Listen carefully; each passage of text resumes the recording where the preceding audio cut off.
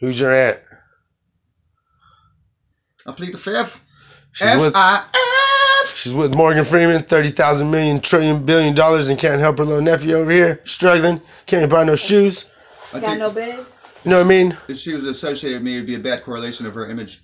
You know, roommate Davy D. Mack. Children of God should be getting paid for all his hard work his whole life, but instead gets no education. We need to GoFundMe. These people can't be doing this to us. We have to have some kind of rights. Morgan Freeman, if you out there and you hear this shit, you should help us. If anybody, motherfucker. Yeah. God damn it. There's too many people out here. These streets are too cluttered. I know you can't see We're us, risking it for but we out here ain't for no real. Biscuit yet.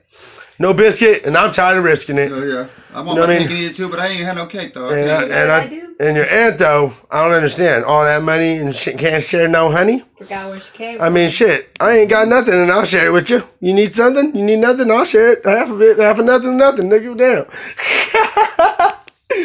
well, anyway, this is for Morgan Freeman, especially and his girlfriend, the charity doer that won't help out her nephew out here in Walnut Creek, California. Thank God we're living here. Someone's got her back.